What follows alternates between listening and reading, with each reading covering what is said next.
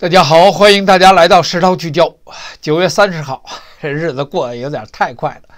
二零一九年九月三十号，当时北京出现黑死病，那是我印象特别深刻的。然后呢，二零一九年这个十月一号呢，习近平与鬼共同检阅。二零一九年九月三十号是习近平拜见这个这个毛泽东的尸首尸体，这个大家都记得。那在退避图当中呢，有一个说法，说后来就是我我印象中是二零二零年，但是退位图没有一个没有具体的年限，我只能讲我印象中了，啊，就是在讲述着这个未来进入世界大同之后第六十回吧，四十回是六十回，我我六十回可能世界进入大同之后。就万国朝圣，呃，然后后来这事儿就就不再往下推了。万国朝圣将经历过一次，将经历过一段很平稳的时间，三十年啊，三十年，二十多年，三十年。那那里对不起，这里然后他讲的就是东方是未来，所以退位图也是这么说的。但万国朝圣这个概念，就我个人记得蛮清楚。现在，现在。经历过这一段风波之后，说预言的都很少了。那万国朝圣怎么解释呢？各说不一。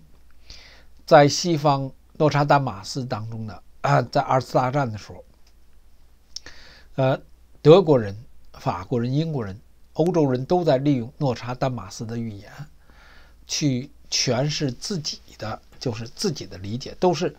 向自己有利于自己的角度去解释，诺查当时二次大战的时候有着类似的说法。国际奥委会表示，只有中共中国公民才能参去参观参加二零二二年的北京冬奥会，明年冬天。啊，我觉得这个这个就是蛮有趣的故事。我昨天用了很长的时间，用了三期节目，三期节目是讲的。呃，美就是中共国要摧毁全世界，以自我封锁的方式。大家呢看这些东西呢，啊，没没有什么太多兴趣，觉得有点还不如这种新闻类的。就是现在现在的人们对这种，哎，怎么说呢？反正就就是这么回事了，就是这样，我只能这么说了，就是 就只能说是这么回事了。所以什么意思？我当时跟大家说，断电。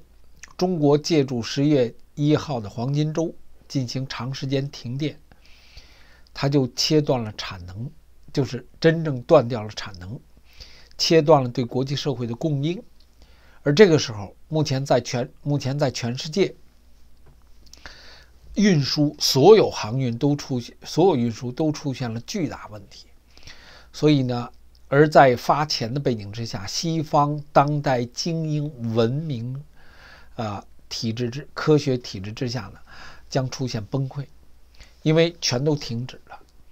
那而中共国做法就以这样自残的做法，类似自残的做法，摧毁整个货源，摧毁货源，关起国门，对吧？这是我们说的。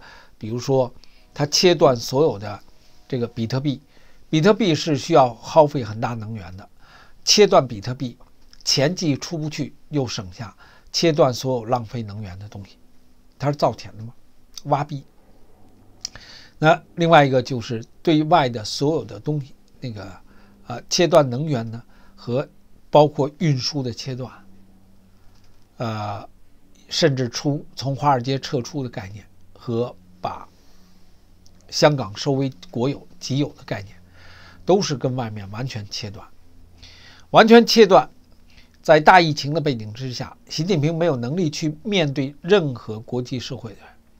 但是完全切断之后，他在西方精英文明大重置的背景之下，他客观的摧毁了大重置。当摧毁大重置之后，那那那中国这么大的一个最大的生产基地没了，他就给断掉了。这样的话，先垮掉的是西方当代。